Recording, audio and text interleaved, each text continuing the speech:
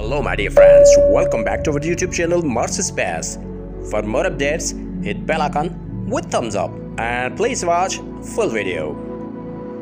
NASA's Mars Perseverance rover acquired these images at the surface of Red Planet using Mastcam Z and navigation camera.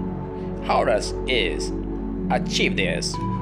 Well, the rocks and sediments had to come from somewhere.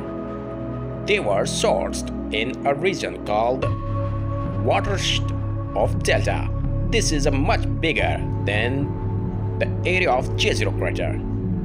Itself, about 45 kilometers across, and the rocks we see in the delta will inform us. A wide range of Martian process, and some rocks may even be older than the Jezero crater itself, about 3.9 billion years old. If you like my video, hit thumbs up and don't forget to share to your friends. Stay connected with Mars Space. Thanks for watching.